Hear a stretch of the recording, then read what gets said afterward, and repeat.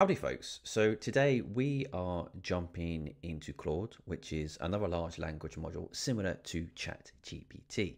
reason why we're doing that is I want to show you a handy feature you can use as a learning designer and L&D teams to prototype product ideas.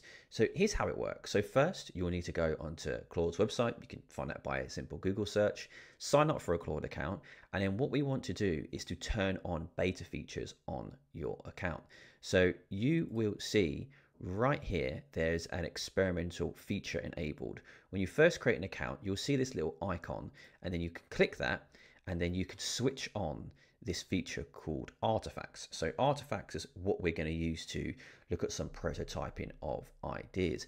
As it says here, artifacts allows you to use Claude to generate code snippet, text documents, loads of different designs.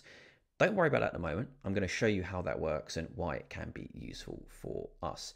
So once we complete that, we can start to play. So I'm going to show you a, a bit of example of something that I have done earlier. So let's jump into that. So I have got a, a lovely example here of something that I've been messing around with Claude. So I said to Claude that I wanted to create an app that helps people share their favorite resources to read an AI for learning. An app should let people upvote on resources, leave short comments, and I've given it an idea of the UI. And then what we can see here is that Claude has come back and said, okay, cool. So this is what we can create for you. And you can see that there. But the really cool thing is we can see this in real time. So if I click this here, what you then see is the app that Claude has created. And you can preview that. You can look at the code if you're uh, a software engineer, you want to mess around with that code. But you can get a preview and you can actually use that. So you can see here, it's workable. I can upvote, I can downvote, I can leave comments. I will just write sad there, add a comment, which is pretty cool. So it allows us to prototype some ideas we might have. What you can also do is download this and you can publish this artifact as well.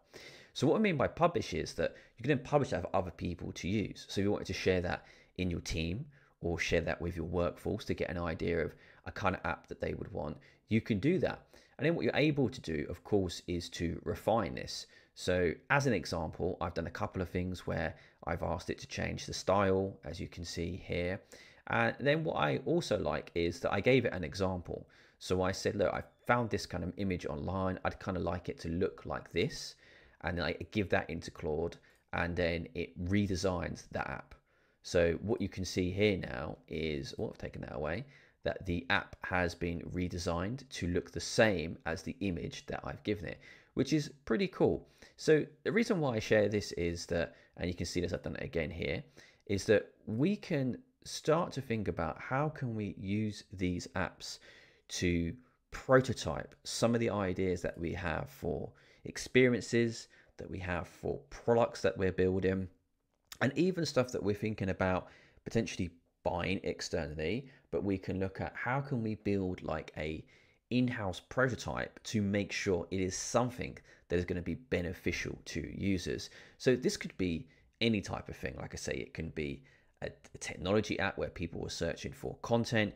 It could be something that you're building from a coaching or feedback tool perspective, you know, whatever your heart desires pretty much. So that's a very quick rundown but it shows you what you can do quite quickly with different tools beyond content creation. So again, my whole message is always, how do we look beyond content creation?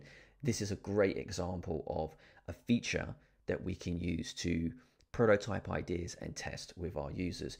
So as always, I hope that's helpful. If you have any questions, leave those in the comments and I will speak to you in the next one. Ciao.